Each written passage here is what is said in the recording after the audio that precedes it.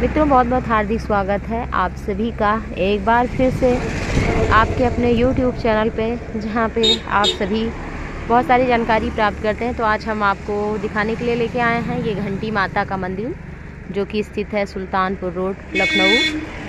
अर्जुनगंज पड़ता है। तो यहाँ भक्त जन आते हैं और अपनी तकलीफ़ को, अपनी कामना को माँ से कहते हैं और जब उनकी कामना पूरी होती है तो यहाँ घंटी बांधते हैं। तो देखिए, उसी के उपलक्ष्य में यहाँ पर घंटियाँ बंधी हुई हैं। तो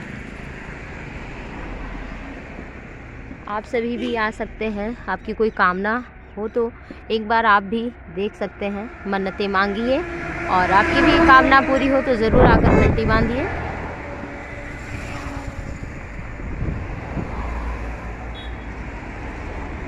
बिल्कुल रोड पर स्थित है ये कहीं अलग से मंदिर नहीं बना हुआ है।